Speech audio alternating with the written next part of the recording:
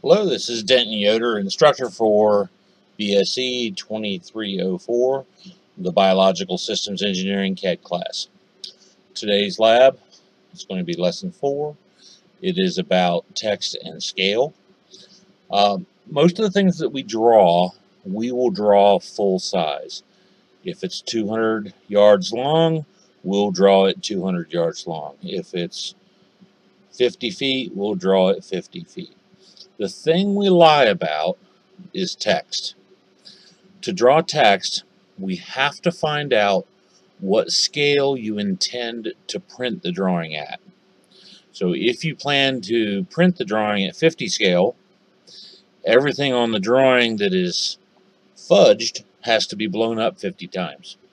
Okay, so what I mean by that is, if you take a look at this spreadsheet we have, uh, to draw text an eighth of an inch tall, or 0.125, we multiply by our scale. So at 50 scale, it would be six and a quarter.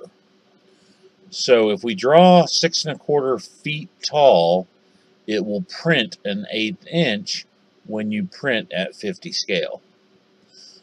Uh, the example of that would be the yard lines on a football field. How tall do you draw the text for the yard lines on a football field so that when you're up in the stands, you can actually read the text. Um, so this is how you calculate that. Okay. Um, civil is pretty easy because we actually work in in decimal feet. I like to call that like civil metric. It, it's feet, but we use decimal values. We never touch inches. Uh, an inch is 0.0833. We just that's the way it, that's the way it works. Architects have it a lot more difficult. If you're working on a quarter inch equals a foot architectural drawing, their scale factor is actually 48 because a quarter inch equals a foot. If we reduce that equation, one inch equals four feet which is 1 inch equals 48 inches. So they have a factor of 48 in there.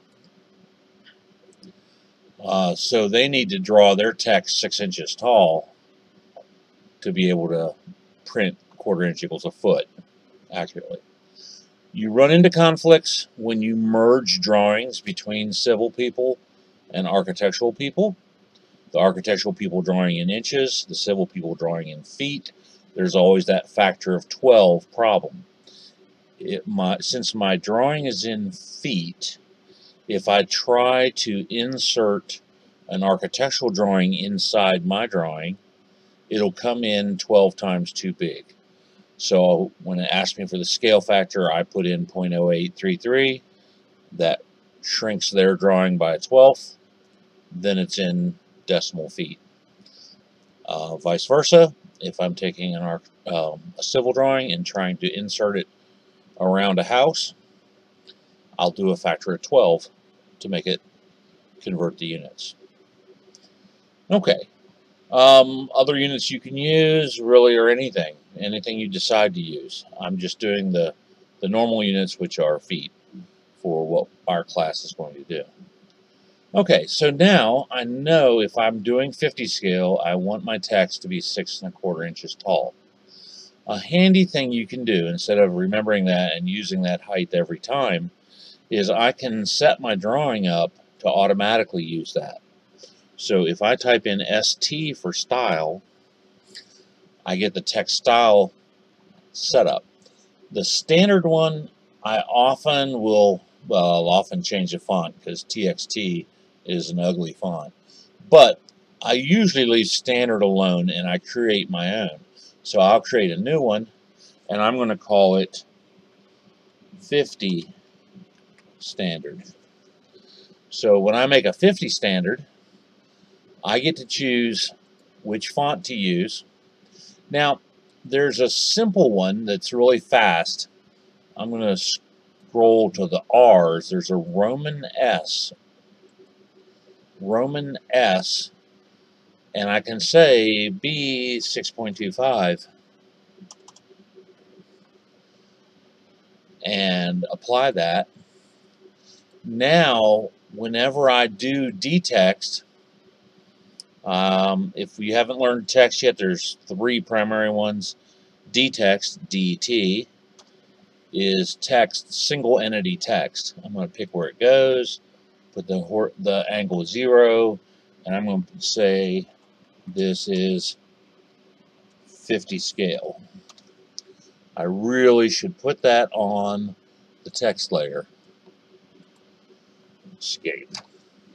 I also got a weight on that text because, uh, let me back up, LA for layers. I set a 35, a 0.35 millimeter line weight for my text layer so the text looks good automatically. Okay, I may make another layer for titles. Layer. Um, I'm going to highlight text so it copies most of my settings. And I'm going to call it title. Title text. Title text, maybe I want to make it magenta or something something different. I can make it anything I want. I could leave the same thickness or make a heavier text. Let me go 0.5 for title text. Okay, so now if I want to do another piece of text, let's go to the title text. Let's go to our ST for style. From the 50, 50 standard, I'm going to make a new one and call it 50 title. 50 title, I'm going to use the same font, but I'm going to put 12.5. So now I have two different styles of text, two different layers of text. DT for dtext.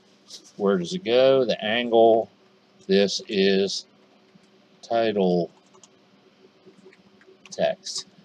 Enter. And it gets a thickness from the layer that I specified, but the height and font come from the style I defined. So your style sets up your text and your height is generated using a chart from the scale you intend to print. The scale you print really is not important the entire time you are drawing your drawing. It only becomes important when you want to size text and oftentimes symbols.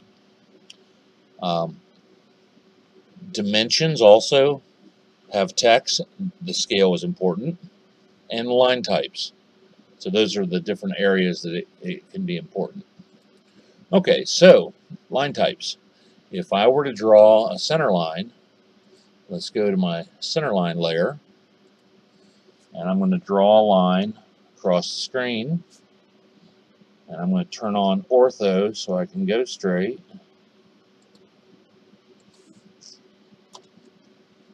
The pattern doesn't repeat very well. It's, it's very tight. If I type in LT scale for line type scale 50, it's a center line. And it actually repeats 50 times bigger. I don't have to set my LT scale to the same exact number as my scale. If I want it a little smaller, LT scale 25, I can have it a little smaller. But your scale factor is your best starting point. Also, dimensions. Uh, if I type setvar and I'm going to type in question mark dim star. It's showing me pages of dimension variables, and many of these have sizes. Really, I just want to change one variable. I'm going to go up to my dimensioning toolbar, pull that down where we can see it. Um, the dimensioning toolbar has a um, style editor uh, that we dim style that we can go to, to to change things graphically or if I just type in dim scale I could set it manually. This one I'm going to do the graphical editor. So what I'm going to say is I want a new style. I'll leave the standard one alone. I'm going to call this one 50 scale. And I'm going to say for 50 scale, the text I want to use is my 50 standard text. And then the fit is where I say this is 50 scale. And my primary units, I'm going to drop it down to two decimal places. Four is a little bit excessive. If you're doing angles for survey, some people will switch it to degrees, minutes, seconds. If you do that, you need to pop it up to have more accuracy. If you're working with decimal degrees, none or one is pretty standard. Okay, by making this new style, I can now put in a dimension. And I really shouldn't have put it on the centerline layer. It should be on the dimension layer. So let me set myself on the dimension layer. It's current. Okay. So now when I create dimensions,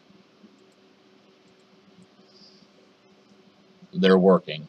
The text is the right height. Um, the arrowheads are the right height. Gaps are the right distance. Everything is adjusted because I set the scale, the dim scale. Let me go into it again. Modify. The dim scale was on the Fit tab. Overall scale. Let me cancel that, close out. If I type in dim scale, you will see it's 50. Okay. Now, in the dimension styles, if I'm working with more than one scale, I can create a new one. I'm going to call it 100 scale. And in the 100 scale one, I'm going to set my fit to 100. Now I can choose which scale I'm working on when I draw a dimension.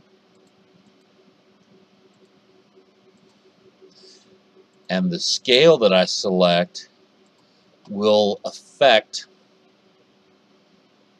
oh, I should have used 100 scale text. My bad. But it affected the arrow sizes and offset distances. Let's go into style and set up a new one and we'll call it 100 standard and it's going to be um, 12.5 close edit the 100 standard style to use the text 100 standard okay close Okay, so now they both work correctly. Okay, that is scales, that is text, and dimensions. We talked about LT scale. One other thing with text is I only showed you D-text, or dynamic text, which gives you single line text. There's also an M text, which lets you do a paragraph. This is a test of the emergency typing service.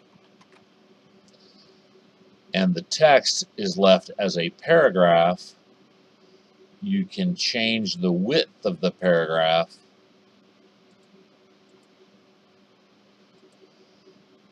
but it stays a paragraph. That's M text. There's another one called R text. R text is awesome for title blocks. It'll let you put the drawing name on the drawing automatically. It's a reference text. Uh, if you had text notes that are standard on every sheet of a project, you could have a text file and it will reference that and put those notes on the screen. Um, you can also have a date time stamp on your drawings so that whenever they're printed, you know the date time when it was printed. All right, I think that's it for text and scales. Have a good one. Bye.